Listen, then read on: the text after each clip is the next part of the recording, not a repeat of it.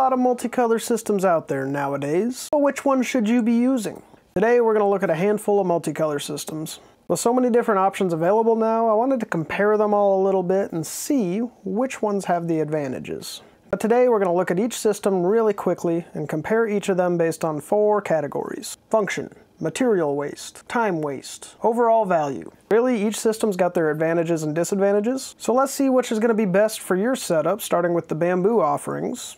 There's a lot of them. Before we move on to all of the other options that have kind of come in the past few years. Straight off the bat, the AMS Lite is my favorite of all of the Bambu offerings. The spools are driven from the center instead of the outer ring, which makes for a much more reliable printing experience. So there's no need to print those plastic adapter rings if you've got cardboard spools, for example. You don't need to worry about dust building up because your spool's getting shredded from the AMS spinning forever and ever and ever. So for this AMS, since there's four individual tubes all going to the tool head, that creates a bit of an advantage.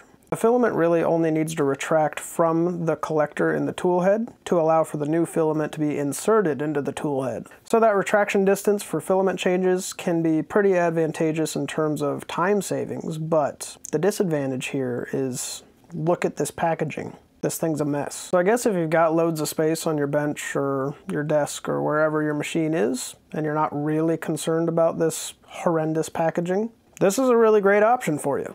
The value here is great. The AMS Lite was intended for Bambu's entry level of machines, so it makes sense that the value would be good with this. But if you're trying to stack up a bunch of these right next to each other, you're going to be wasting quite a bit of space. Something to keep in mind. So the AMS Lite is available individually or in machine combos. And at the time of recording, they're only 150 extra dollars when purchased with a machine in a combo. Otherwise, $230 gets you the AMS Lite on its own, so really it's not that bad.